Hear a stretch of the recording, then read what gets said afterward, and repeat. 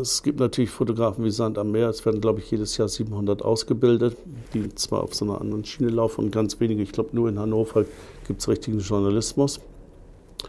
Und äh, es hat sich so weit geändert, durch, auch durch das Digitale, dass heutzutage ja jeder fotografiert. Und äh, ich finde es oft sehr schade, dass Fotografen wie Kameras behandelt werden, die im Regal stehen. Die nimmt man dann, wenn man irgendwas sucht, nimmt man aus dem Regal, fotografiert damit und stellt sie wieder rein. Und es wird nicht die Persönlichkeit. Wird teilweise, sag mal, ein Fotostil wird gesucht, aber die Persönlichkeit wird außer Acht gelassen. Und das war beim Stern immer toll, weil wir waren meist Teams. Ich bin sehr gerne in Teams gereist.